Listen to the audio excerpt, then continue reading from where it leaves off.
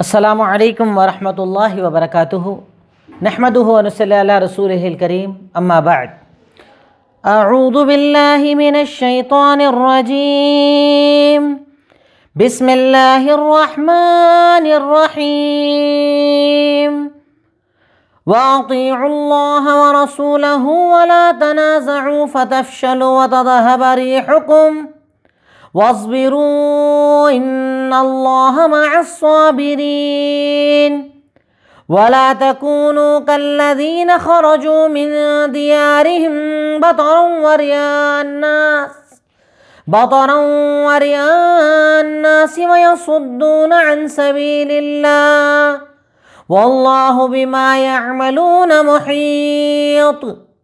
बिमा यअमलून मुहीत वइज़ ज़य्यन लहुमुश्शैतान अअमालहुम वक़ाल ला गालिब लकुमुल यौम वक़ाल ला गालिब लकुमुल यौम मिनन नास व इन्नी जारुल लकुम फलम्मा तराअतिल फ़ियतान नक़सा अला अक़िबैहि वक़ाल इन्नी बरीउम मिनकुम इन्नी अरा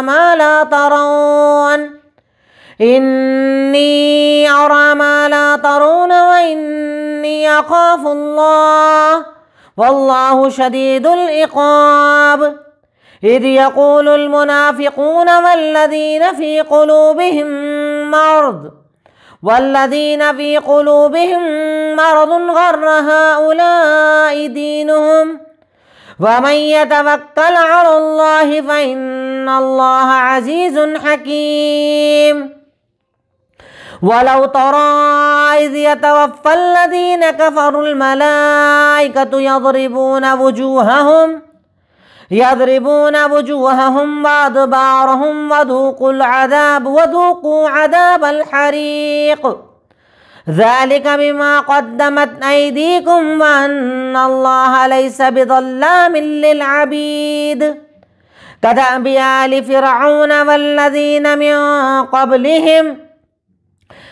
कफरू भी आयातिल्लाहिफाखदहमुल्लाहुबिदुनूबिहिम इन्नल्लाह कवियुन शदीदुल इक़ाब अल्हम्दुलिल्लाह तदब्बर कुरान की आज हमारी क्लास नंबर 187 है जिसमें सूरह अनफाल की आयत नंबर 46 से 52 मैंने आपके सामने तिलावत की सबसे पहले आयात का तर्जुमा।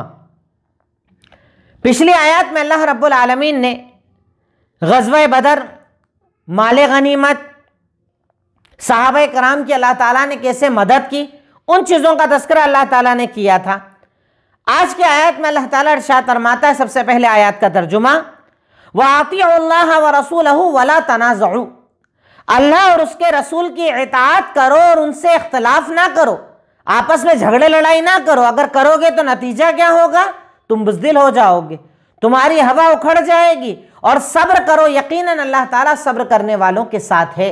यहाँ पर अल्लाह ताला मोमिनों को जब जंग सामने आ जाए तो ये तालीम दे रहा है कि इख्तलाफ मत करना, झगड़े मत करना, लड़ाई मत करना और ये कॉमन बात है, आम बात है। जब इख्तलाफात ज़्यादा होते हैं, उसके नतीजे में इंसान बुजदिल हो जाता है, कमज़ोर हो जाता है, ताकत टूट जाती है जो आज मुसलमानों के हालात हैं। वला तकून कल्लादीन अब उसके बाद अल्लाह ताला मारत बद्र के लिए जब कुफ़ार मक्का अपने घरों से निकले थे तो उनके निकलने की कंडीशन क्या थी? अल्लाह ताला वो बता रहा है, निकलने का तरीका, निकलने का अंदाज क्या था? अल्लाह ताला वो बताते इरशाद फरमाता है, वला तकून कल्लादीन खरजुम दियारहिम बातारम वरियान्नास और तुम उन लोगों की तरह ना हो जाना जो अपने घरों से निकले थे, इतराते हुए और दिखावा करते हुए। दिखावा कर रहे थे, बहुत अपने आप को बड़ा बता रहे थे, घमंड कर रहे थे, इतरा रहे थे, कह रहे थे कि बस जाएँगे, मुसलमानों को ख़त्म करेंगे, अभी आ जाएँगे, अकड़ रहे थे, वयसुद्दून अन सभी और अल्लाह के रास्ते से रोक रहे थे। अल्लाह ताला उसके आगे कहता वल्लाहु बिमा यामलून मुहीत।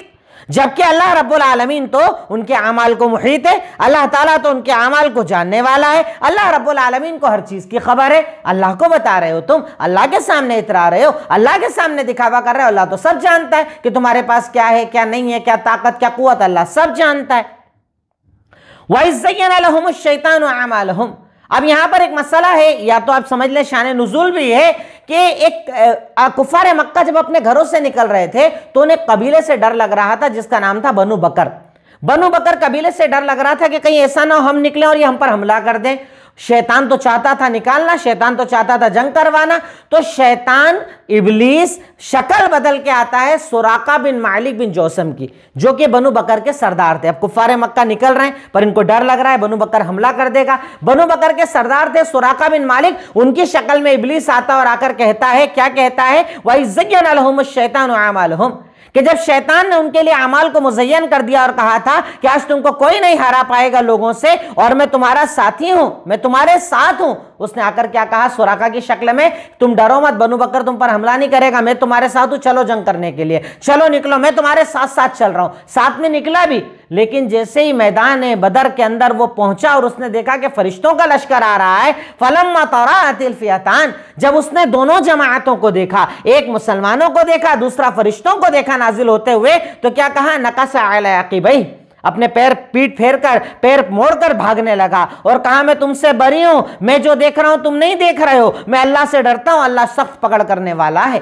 शैतान की आदत क्या होती है? गुनाह तक लेकर आता है, करवाता है, उसके बाद हट जाता है, भाग जाता है, छोड़ देता है। तो शैतान ने यही किया, बनु बकर हमला कर देगा, बनु बकर के सरदार की शक्ल में आ गया। आने के बाद कहा, मैं तुम्हारे साथ हूँ, सपोर्ट और टेंशन मत लो, मैं भी चल रहा हूँ साथ में। जैसे ही वहाँ पर पहुँचा और देखा कि जिबरील उतर रहे हैं, फरिश्ते उतर रहे हैं, मुसलमान नज़र आए उससे तो सब पता था कि इनकी ताकत और कुत क्या है। भागने लगा और भागते भागते कहता, मैं तुमसे बरी हूँ, मैं जो देख रहा हूँ, तुम नहीं देख रहे हो। मैं अल्लाह तला से डरता हूँ। अल्लाह तला का अजाब बड़ा शदीद है। ये शैतानी आदत है कि वो गुनाह इंसान से करवाता है। अल्लाह ताला ने इस वाक्य की तरफ़ इशारा इस आयत के अंदर किया है।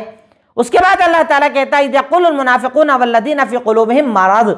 कि उन लोगों ने जिनके दिलों में निफाक था या मर्ज था, ये कहा, इस सब चीज़ों को देखने के बाद गर रहा उलाई दीन हम इनको तो इनके दीन ने धोखे में डाल दिया है। इनको तो इनके दीन ने धोखे में डाल दिया यानी देखो, लड़ने के लिए आ गए, इनको डर भी नहीं लगता। कुफार मक्का इतनी ताकतवर है, मुनाफिकों की आदत होती है, वो डराते हैं हमेशा। वो ताकत दिखाते हैं, दुश्मनों की ताकत दिखाते हैं। अल्लाह उसी का ज़िक्र कर रहा है कि उन लोगों ने डराया मुसलमानों को। पर अल्लाह ताला कहता है, वमन ये तवक्कल अल्लाह जो अल्लाह पर भरोसा करता है तो अल्लाह ताला तो ताकत वाला और हिकमत वाला है। साहबा ने अल्लाह पर भरोसा किया, अल्लाह ने उन्हें इज़्ज़त दी, ताकत दी कुत दी, सरफराजी दी। वलाउ तारा अब अल्लाह ताला इसके बाद कहता है कि ये जो मुनाफिक होते हैं ना, ये जो मुशरक और कुफार होते हैं ना, इनका अंजाम क्या होगा? अल्लाह ताला कहता है, वलो तारा, अगर आप देखें कि जब इन कुफार को फरिश्ते मौत देते हैं, यानी इनकी रूहों को कब्ज करते हैं तो क्या करते हैं? इनके चेहरों पर भी मारते हैं, इनके पीछे के हिस्से पर भी मारते हैं। मार मार के इनके रूहों को निकाला जाता है। इन्हें मार कर तकलीफ़ देकर रूह निकाला जाता है। वधु को अदाबल हरिक, और ये तो दुनिया का मामला है। इसके बाद कहा जाता है कि तुम जहन्नम की अजाब भी चखो, जहन्नम की आग भी चखो, यानी मौत के वक्त इन्हें बड़ी तकलीफ़ होती है। मौत के वक्त इन्हें बड़ा मुश्किल मरहले से गुजरना पड़ता है, जब इनकी रूहों को इनके जिस्मों से निकाला जाता है। उसके बाद अल्लाह ताला कहता है कि ये क्यों है? ऐसा अजाब क्यों दिया जा रहा है? जालिका बिमा कद्दमत ऐदीकुम, ये इसलिए जो तुम अमल करके आए हो और अल्लाह ताला बंदों पर जुल्म नहीं करता है। तुमने निफाक इख्तियार किया, तुमने कुफ्र किया, तुमने शिरक किया, अल्लाह को नहीं माना, दीन को, शरीयत को नहीं माना, उसके नतीजे में तुम पर यह अजाब है। कताब आली फ़िरौन सेम यही मामला अल्लाह ताला ने फिरौन के साथियों के साथ किया था और जो उनसे पहले गुजरे, उनके साथ किया था। जिन्होंने अल्लाह ताला की आयत का इनकार किया तो हमने उनके गुनाहों पर उन्हें अजाब दिया और यकीन अल्लाह ताला ताकत वाला और शदीद अजाब देने वाला है। यानी जैसे फिरौन को हमने अजाब दिया फिर के पहली कौमों को अजाब दिया, जब भी किसी कौम ने कुरानी आयात का इनकार किया, अल्लाह की आयतों का इनकार किया मोजात का इनकार किया, नबियों का इनकार किया तो अल्लाह ताला कहता है, हमने उन पर अजाब भेजा। हम उन पर अजाब नाजिल करते हैं और ये अल्लाह रब्बुल आलमीन का तरीक़ाकार है। अल्लाह रब्बुल आलमीन इसी के मुताबिक फैसला करता है। अल्लाह ताला इस बात से मोमिनों को डरा रहा है, मुसलमानों को डरा रहा है कि हमको बहुत ज़्यादा फिक्रमंद होना चाहिए, हलाल हराम की तमीज़ रखना चाहिए। गर्जे के आज की आयत में अल्लाह ताला ने इतात का ज़िक्र किया। शैतान के बारे में बताया कि बदर में कैसे निकाल कर लाया था। यह भी बताया कि बदर के वक्त में कुफारे मक्का कैसे निकले थे। फिर अल्लाह ताला ने उन पर आने वाले दुनियावी अजाब को बताया, अखरवी अजाब को बताया और उनके, उनसे पहली कौमों के भी अल्लाह ताला ने अजाब का ज़िक्र आज की आयत में हमारे सामने किया। ये तो हुआ तर्जुमा। अब इसके बाद मुश्किल अल्फाज, आज की आयत में आए हुए मुश्किल अल्फाज। वला तनाजू डू नॉट डिस्प्यूट। आपस में झगड़े मत करो, इख्तलाफ मत करो, डिस्प्यूट मत करो, लड़ाई मत करो। फतफ शलू यू लूज कवरेज। तुम अपनी ताकत खो दोगे, बुजदिल हो जाओगे, ताकत चली जाएगी। तद हबारी हकुम। You are strength will depart would depart तुम्हारी जो ताकत है ना, हवा है ना, वो खत्म हो जाएगी। तुम्हारा रोब, तुम्हारा दबदबा, तद हवारी हकुम मतलब तुम्हारी हवा उखड़ जाएगी, तुम्हारा रोब खत्म हो जाएगा। बत्र कहा जाता है? असल में बतन का मतलब होता है इतराना इतराना, अकड़ना, घमंड करना और रियान नाश का मतलब होता है शोइंग ऑफ़ दिखावा करना, लोगों को दिखाना, अकड़ना और दिखावा करना। ये अल्लाह को सख्त नापसंद है। अल्लाह ने उसी का ज़िक्र यहाँ पर किया है। जयन लहुम made their deeds pleasing to them उनके अमाल को उनके लिए मुजयन कर दिया। यानी उनके अमल को बहुत अच्छा दिखाता था वो। गुनाह करने को अच्छा दिखाता था, जंग लड़ने को अच्छा दिखाता था, घर से निकलने को अच्छा दिखाता था, हराम करने को अच्छा दिखाता था मुजयन करता था, उसे तैयार करता था, अच्छी रैपिंग करता था कि तुम अच्छा काम कर रहे हो। नकसा अलाकी भाई ही टर्न ऑन हिज फीट वो अपने पैर के बल पलट गया। यानी ऐसे जाता जाता वैसे पलट गया, अब मुड़ गया, पीठ फेर कर भागने लगा। गर्रा मतलब होता है डिल्यूटेड भटका दिए गए, भटक गए, गुमराह हो गए, इन्हें धोखे में डाल दिया।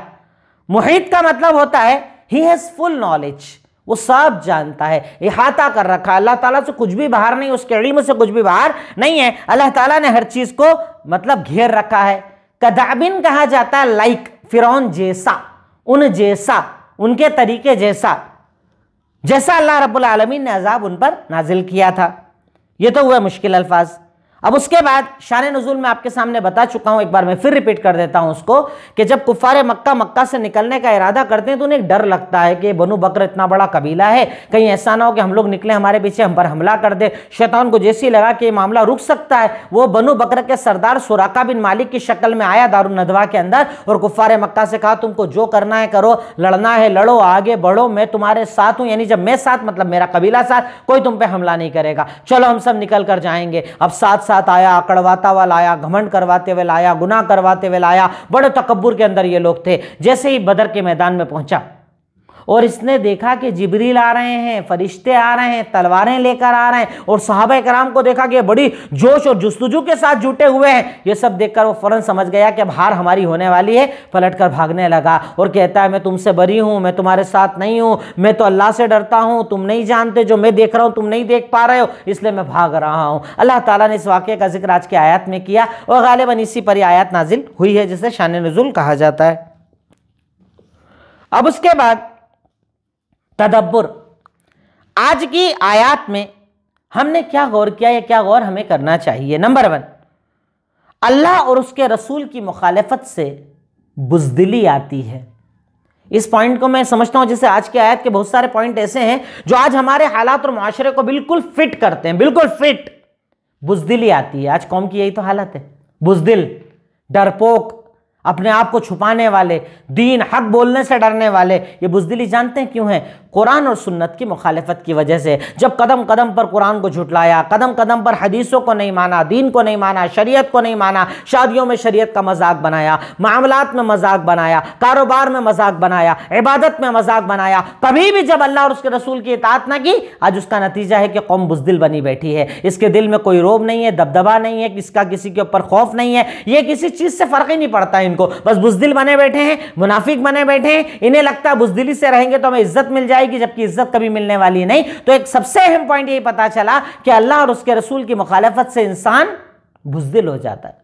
शुजात चली जाती है, बहादुरी चले जाती है, जो साहब कराम में थी। कि असलहा नहीं, ताकत नहीं कुत नहीं, साथी नहीं, सब कुछ कम, फिर भी ताकत बड़ी थी। क्यों? क्योंकि उनके अंदर ईमान की ताकत थी। अल्लाह और उसके रसूल के फ़रामीन को मानने की ताकत थी इतात की ताकत थी और हमें मुखालफत की वजह से अल्लाह ताला का ये अजाब है हमारे ऊपर। नंबर टू, शिद्दत के हालात में इंसान को ज़्यादा नेकी करना चाहिए। जब हालात ज़्यादा बिगड़े हो ना तब नेकी और ज़्यादा करना चाहिए। जैसे अभी परेशानी का दौर, तसब का दौर, तकालीफ का दौर, इसमें इबादतें अपनी और बढ़ा दो। नमाजें पढ़ो, रोज़े रखो, हज करो, उम्र करो, सदका, खैरात, अच्छाई की बात, अमर बिलमारूफ नहीं अनिल मुनकर, दुआएँ, असकार, जो कर सकते हो, शिद्दत के हालात में नेकियाँ बढ़ा देना चाहिए। तकलीफ़ की हालत में नेकियाँ बढ़ा देना चाहिए। यहाँ पर अल्लाह इतात का ज़िक्र कर रहा मैदान बद्र में, कि जब तकलीफ़ ज़्यादा हो ना, तब अल्लाह को ज़्यादा याद करो।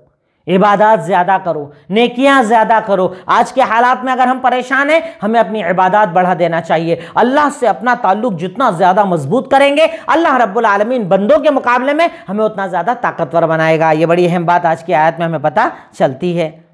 पॉइंट नंबर थ्री इख्तलाफात के नतीजे में कमज़ोरी, बुजदिली, डर ऐसी कई बीमारियाँ हमारे अंदर आती है, इख्तलाफात के नतीजे में। जब इंसान इख्तलाफात करता है ना तो फिर उसमें बुजदिली भी आती है, कमज़ोरी भी आती है, लोगों का रोबर दबदबा भी आता है, किसी से मशवरा नहीं कर पाता इंसान, किसी से बातचीत नहीं कर पाता। यही तो हालत है ना। आज अगर हम सोचें कि एक मनज़म तरीके से कौम को दोबारा ज़िंदा किया जाए तो हमारी कौम की हालत ये सबसे पहले देखेंगे मुनज़म करने वाला कौन है, किस जमात से उसका ताल्लुक है, बुलाने वाला कौन है। अब बुलाना शुरू करेंगे, चार आपकी मुखालफत में लग जाएँगे, अरे ये बुला रहे, इनके पीछे नहीं जाना हम तो अपने हिसाब से चलेंगे और फिर वही काम जो मुनज़म तौर पर होना चाहिए, टुकड़ियों के अंदर करेंगे और टुकड़ियों के काम में अल्लाह कभी बरकत नहीं देता। ये सब इख्तलाफात का नतीजा है। आज कौम में इख्तलाफात को इतना बढ़ाया गया, हमारे ने इख्तलाफात पर इतना काम किया, इतनी नफरत डाली, इतनी नफरत डाली, इतनी नफरत डाली, क्या नतीजा ये कि पूरी कौम बुजदिल बनी बैठी है। तो इख्तलाफात के नतीजे में कौम में कमज़ोरी आती है,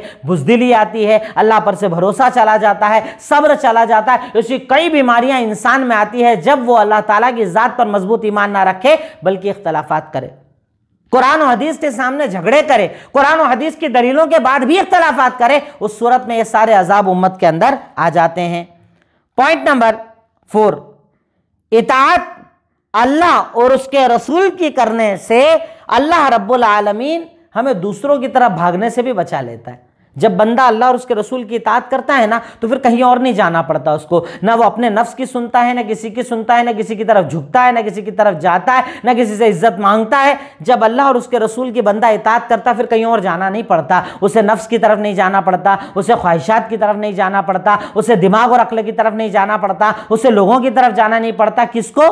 जो अल्लाह और उसके रसूल की इतात करता फिर वो कहीं नहीं जाता।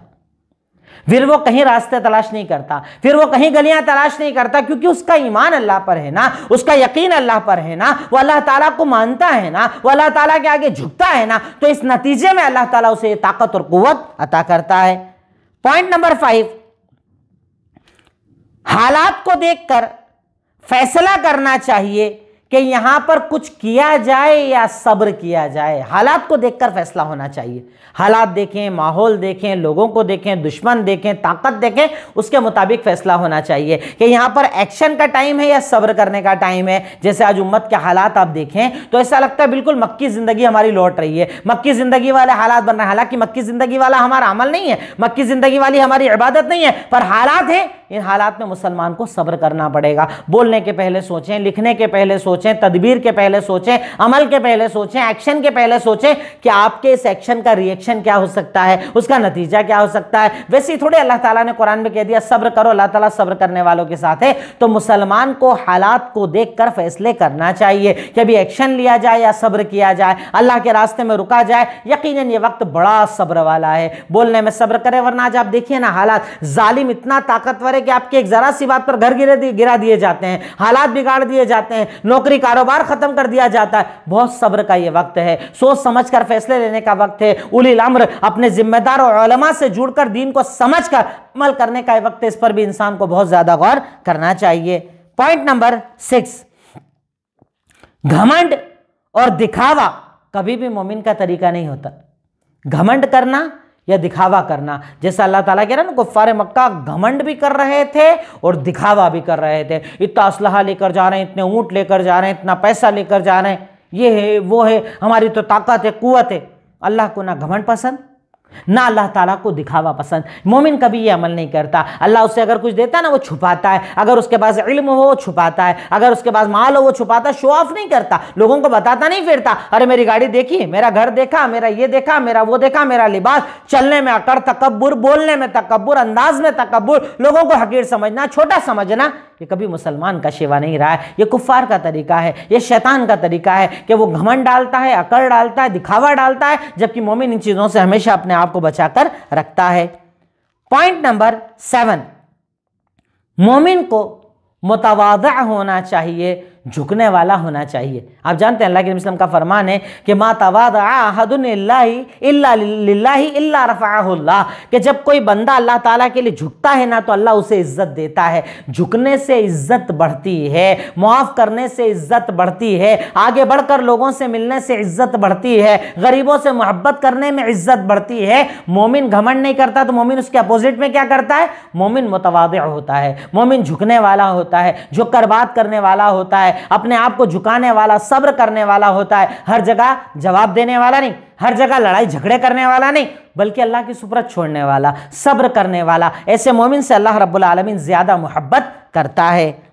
पॉइंट नंबर एट, शैतान की आदत है, वो गुनाह को खूबसूरत बनाकर पेश करता है और बाद में जलील करवा देता है। ये शैतानी आदत है। गुना कभी भी वो गुना नहीं दिखाता, जैसे हमारे यहाँ लोग फाइनेंस का कारोबार करते हैं, उनको गलत लगता है क्या? वो तो दस दलीलें उसके लिए बताते हैं, क्योंकि शैतान दलील देता है ना, शैतान उसको अच्छा रैप लगाता है ना, कितने किस्म के हराम कारोबार करने वाले हैं जो अपने आप को अच्छा समझते हैं गुना करने वाले अपने आप को अच्छा समझते हैं। ये शैतानी फितरत है कि वो गुनाह को खूबसूरत बनाता है गुना को अच्छा बनाता है, कभी नेकी को अच्छा नहीं बनाता, कभी आपके दिल में ये बात नहीं डालेगा कि नमाज़ पढ़ो, नमाज़ पढ़ने से फ़ायदा मिलेगा, नमाज़ छोड़ो, उसके फ़ायदे वो आपको बताएगा। शैतान की आदत है कि वो गुनाहों को खूबसूरत बनाता है और जब बंदा गुना कर लेता है ना, फिर उसे छोड़ देता जलील कर देता है। गुना करने के बाद जिल्लत मिलती है, शर्मिंदगी मिलती है, अल्लाह की नाराज़गी, बंदों की नाराज़गी, किसी से आँख ना मिला पाना, हमेशा शर्मिंदा रहना, ये सब अजाब आते हैं गुनाह के नतीजे में। जब बंदा ज़्यादा गुनाह करता है, शैतान गुनाह को मुजयन करता है और बाद में उसे जलील करवा कर छोड़ देता है। Point number nine. जब अल्लाह मोमिन को ताकत देता है ना तो इसके सामने फिर कोई टिक नहीं पाता है। अल्लाह अकबर। शैतान कितना ताकतवर था, इबलिस। लेकिन जैसे ही उसने अल्लाह की ताकत को देखा कि फरिश्ते उतर रहे हैं, मोमिन खड़े हुए हैं, फलम्मा तरा अतिल फियान जैसी जमातों को देखा, दोनों भागा पीठ फेर का तो जब अल्लाह ताकत देता है ना तो फिर ताकतें आपसे भागती हैं, कुतें आपसे भागती हैं, जालिम आपसे भागता है। कितनी बड़ी ताकत, कितनी बड़ी कुत, कितना बड़ा इख्तियार, कितना बड़ा गलबा, कुछ भी हो, अगर अल्लाह आपकी मदद करेगा ना, सब भागेंगे आपसे। अल्लाह ताला आपको ताकत देगा, कुत देगा, गलबा देगा, शोहरत देगा, इज़्ज़त देगा रोब देगा, दबदबा दबा देगा, सब देगा, बस आप अल्लाह के हो जाओ, अल्लाह आपका हो जाएगा इन इस बात पर भी बंदे मोमिन को बड़ा यकीन करना चाहिए। पॉइंट नंबर टेन शैतान हमेशा हक के खिलाफ मदद करता है, जबकि उसकी मदद पूरी नहीं होती है। शैतान की आदत रही, वो हक के खिलाफ ही मदद करता है। हक के खिलाफ ही बोलता है। अब देखिए ना, हक के खिलाफ कैसे तैयार करके लेकर आया, जंग करने के लिए लेकर आया, पर कामयाब हुआ, भाग गया वो तो छोड़ छाड़ कर। शैतान की आदत है, वो हक के खिलाफ मदद करता है। कई लोग हमारे यहाँ कहते हैं कि आप लोग दावत की बात करते हैं, आपके तो काम में बरकत होती नहीं। देखो शिर करने वाले तो इतने सारे हैं, देखो, वहाँ जाने वाले इतने सारे हैं, देखो, शहर जाने वाले इतने सारे हैं तो शैतान मदद करता है ना? शैतान गुनाह के कामों पर मदद करता है, हक के कामों से रोकता है, हक के कामों में रुकावटें डलवाता है। ये शैतानी तरीका है, शैतान का अजल से तरीका है और उस पर बाकायदा अपने अमल में लगा हुआ है। पॉइंट नंबर इलेवन सच्चे मोमिन के अमल हमेशा मुनाफिक को बुरे लगते हैं। ये बात याद रखना। जो मोमिन सच्चा होता है ना, उसका अमल मुनाफिक को हमेशा बुरा ही लगता है अरे तुम लोग पता नहीं क्या करते रहते हो। आज हमारे कई लोग बोलते हैं ना, इतनी नमाजें पढ़ते हो, अरे तुम लोग तो रुकते ही नहीं हो, तुम लोग तो अभी भी दावत का काम कर रहे हो, तुम तो अभी भी बुरका पहना रहे हो। मुनाफिक को ये सब बुरा लगता है। मुनाफिक के दिल के अंदर क्या मर्ज होता है ना? बीमारी होती है ना? इसलिए उसे मोमिन का भी अच्छा नहीं लगता है। उसका काम क्या होता है? शक डालना, शुभात डालना, डराना, खौफ डालना, यही सब काम होता है। मोमिन का अमल कभी भी मुनाफिक को पसंद नहीं आता है। अगर आपकी सफ़ों में भी ऐसे मुनाफिक बैठे हैं तो उनसे दूरी इख्तियार करो। वो जो आपको डराते हैं, वो जो आपके दिलों में खौफ डालते हैं, वो जो आपके दिलों के अंदर इतना ज़्यादा जालिम का डर डाल देते हैं, कि आप इबादत से दूर हो जाओ, अल्लाह से दूर हो जाओ, दीन से दूर हो जाओ, ऐसे मुनाफिकों को अपनी सफ में पहचानो, जानो और उन्हें अलग करो अपने दरमियान से। पॉइंट नंबर ट्वेल्व मुनाफिक हमेशा दुनिया से डराता है और दिल में वहन डालता है। मुनाफिक की आदत है। दिल में क्या डालता है? वहन डालता है। वहन मतलब दुनिया से मोहब्बत करो और आखिरत से नफरत करो। हमारे यहाँ के बहुत सारे मुनाफिक आकर बोल रहे हैं ना, अरे तुम तो इनको ज्वाइन कर लो, इनके साथ हो जाओ, थोड़ा बहुत इन जैसा कर लिया करो, ये तुम्हें इज़्ज़त देंगे, पैसा देंगे, तुम्हें बचा कर रखेंगे, कभी तुम्हें किसी हालात में तकलीफ़ नहीं आएगी। मुनाफिक का तो ये अमल होता है। मुनाफिक तो ये काम करता है, अल्लाह यहाँ पर कह रहा है ना कि मुनाफिक और जिनके दिलों के अंदर मर्ज होता है ना तो वो मुमिनों को कहते हैं, अरे इनको तो उनके दिन में धोखे में डाल दिया। देखो ये तो जंग करने के लिए आ गए, देखो तो इनका कुछ होता ही नहीं है, देखो तो ये तो परेशान ही रहते हैं, मुनाफिक की आदत। मुनाफिक हर दौर में अपने इस अमल में लगा रहता है कि मोमिन को डराता है, मोमिन के दिल में डर डालता है, मोमिन के दिल में खौफ डालता है, मोमिन के दिल में वहन डालता है कि दुनिया से मोहब्बत कर और आखिरत से नफरत कर। यह शैतान का तरीका है। शैतान इसी पर अमल पैरा और इसी पर आपको लाना चाहता है। इसी के लिए वो बराबर मेहनत कर रहा है। पॉइंट नंबर थर्टीन अल्लाह पर मज़बूत तवक्ल करो। उसके सामने तादाद नहीं चलती। अब बस अल्लाह पर भरोसा करो। वमई तवक्ल अल्लाह अल्लाह ताला यहाँ पर कहता है ना कि जो अल्लाह ताला पर भरोसा करता है ना, जो अल्लाह ताला पर यकीन करता है ना अल्लाह फ़ाइन अल्लाह अजीज़ुल हकीम। तो अल्लाह ताला तो यकीन ताकत वाला और हमत वाला है। तुम बस अल्लाह पर यकीन रखो। तुम बस अल्लाह पर तवक्ल करो। हज़रत इब्राहिम सलाम को आग में डाला जा रहा था, उन्होंने कहा हसबन अल्लाह वनमल वकील, अल्लाह बचाएगा, अल्लाह बचाने वाला है। अल्लाह के नबी ने हर जंग के अंदर कहा, अल्लाह बचाने वाला है। ताकत ज़्यादा उनकी रही कुत ज़्यादा उनकी रही, असलाह ज़्यादा उनका रहा, पर अल्लाह के नबी ने तवक्ल किया। अल्लाह के नबी ने भरोसा किया, सहाबा ने भरोसा किया तो अल्लाह ने हर मैदान में उन्हें जीत और ताकत दी। बस तुम अल्लाह पर मज़बूत ईमान और यकीन रख लो, अल्लाह पर मज़बूत भरोसा कर लो। अल्लाह रास्ते बनाएगा, अल्लाह ताकत देगा, अल्लाह कुत देगा, अल्लाह ईमान को गालिब करेगा। यकीन ये अल्लाह ताला का वादा है और अल्लाह रब्बुल आलमीन अपने हर वादों के अंदर सच्चा है, अपने हर वादों को अल्लाह ताला पूरा करता है। इस बात पर भी मोमिन यकीन रखे। पॉइंट नंबर फोर्टीन मौत के वक्त के हालात को याद करो। और अपने अमल को बेहतर बनाओ। यहाँ पर अल्लाह ताला कह रहा है ना कि मुनाफिक, मुशरक, इन लोगों की हालत क्या होगी कि जब इनकी रूहों को निकाला जाएगा तो मार मार के निकाला जाएगा। मारेंगे पीठ पर, मारेंगे इनके चेहरों पर, मार मार के इनकी रूहों को निकाला जाएगा। उसके बाद इलीन उसके बाद कब्र का अजाब, उसके बाद आखरत का अजाब, उसके बाद मैदान महशर का मसला, ये सारी चीज़ें चलने वाली है। इन वाक़ात को याद करा करो, मौत के हालात को याद किया करो, रूह कैसे निकाली जाती है मोमिन की याद करो, रूह कैसे निकाली जाती काफिर की याद करो और अपने आप को बेहतर बनाओ, अपने अमल को बेहतर बनाओ, अपने अमल को इतना बेहतर बना लो कि आपकी रूह को आसानी के साथ कब्ज कर लिया जाए। पॉइंट नंबर फिफ्टीन गौर करो कि हमारे अमाल कौन से हैं, क्योंकि अल्लाह अमाल के मुताबिक ही बदला देता है। आज हम क्या होता है? इल्ज़ाम कई लोगों पर लगा रहे हैं। इन्होंने ऐसा कर दिया, उन्होंने ऐसा किया, ये ऐसा करते तो ऐसा नहीं होता, वैसा नहीं होता, ये होता। अपने अमल पे भी तो गौर करो। तुम क्या नमाजी हो? तुम क्या परहेजगार हो? क्या तुम तोहित परस्त हो? क्या तुम अकीदे वाले हो? क्या तुम दावत का काम करते थे? क्या तुम दीन बताते थे? नहीं, उसके बाद इल्ज़ाम दूसरों पर दे रहे हो। इंसान को तकलीफ़ आने पर अपने हालात पर गौर करना चाहिए, अपने अमाल पर गौर करना चाहिए, अपने अमाल को बेहतर बनाना। अगर किसी वजह से अमल ख़राब है अगर किसी वजह से अल्लाह की नाराज़गी है तो उसे बेहतर करने की कोशिश करो ना। अपने आप को अच्छा बनाने की कोशिश करो ना। अपने अमल को बेहतर बनाने की कोशिश करो ना। उसी से अल्लाह ताला इन हालात को बदलता है। आखिरी पॉइंट है, ताकत चाहे बड़ी हो, छोटी हो, हर सूरत में अल्लाह ताला अहले ईमान की मदद करता है। आपके सामने कितनी बड़ी सुपर पावर आ जाए। हज़रत मूसा के सामने फ़िरौन था, अल्लाह ने मदद किसकी की? हज़रत मूसा की। अल्लाह के नबी के सामने अबू जहल, अबू लहब अल्लाह ने मदद किसकी की? मोहम्मद अलैहि वसल्लम की। ताकत कितनी ही बड़ी क्यों ना हो जाए, उससे मत डरो। मदद अल्लाह ईमान वालों की करता है। बस अपने आप को ईमान वाला बना लो, अमल वाला बना लो। अल्लाह ताला यकीनन मदद करेगा इन अल्लाह ताला इन हालात से निकालेगा, परेशानियों को दूर करेगा, तकालीफ को दूर करेगा और यकीन अल्लाह ताला का हमसे वादा है। अब हमारा आखिरी पॉइंट होता है अमल। नंबर वन अल्लाह की ताकत को याद करो, उसकी अजमत को याद करो। उसने आसमान बनाया, ज़मीन बनाई, ताकत बनाई, कुवत बनाई, खाना देता है फ्रूट देता है, बारिश बरसाता है, आसमान उसका, ज़मीन उसका, पहाड़ उसके, चरिंद उसके, परिंद उसके, जानवर उसके, उस ताकत को याद करो। इन हालात में जब ताकत को याद करोगे ना तुम्हें हिम्मत और शुजात आ जाएगी। नंबर टू लोगों को इख्तलाफात के नतीजों से डराओ। इख्तलाफात बड़े बुरे होते हैं। इख्तलाफात का नतीजा बहुत बुरा होता है। इख्तलाफात के नतीजे में ताकतें टूटती हैं, कमज़ोरी आती है, रोब जाता है। ये सब लोगों को बताओ, ताकि लोग इख्तलाफात छोड़ें और इतिहाद की तरफ़ आए। नंबर थ्री, अपने आप को हमेशा घमंड और रियाकारी से बचाओ। कभी घमंड मत करो। ना पैसे का, ना इल्म का, ना माल का, ना सूरत का, ना जिस्म का, किसी चीज़ का घमंड मत करो। घमंड से अपने आप को बचाओ। डाउन टू अर्थ रहो। जितना ज़मीन से जुड़कर रहोगे, अल्लाह ताला उतनी इज़्ज़त देगा। बत्र और रिया को अल्लाह ताला पसंद नहीं करता। और एक चीज़ कि शैतानी वसवसों से भी खुद को बचाओ।